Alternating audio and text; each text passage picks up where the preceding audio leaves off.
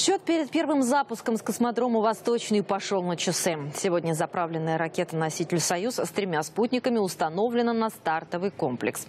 Сразу начались заключительные проверки. Предстоит испытать системы самой ракеты и блок выведения спутников. Перед этим специалисты уже провели ключевые предстартовые процедуры во время так называемого сухого вывоза.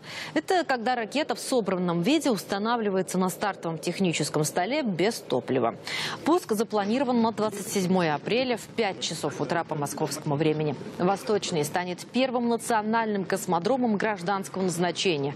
Он обеспечит России полный доступ в космическое пространство и уменьшит зависимость от Байконура в Казахстане.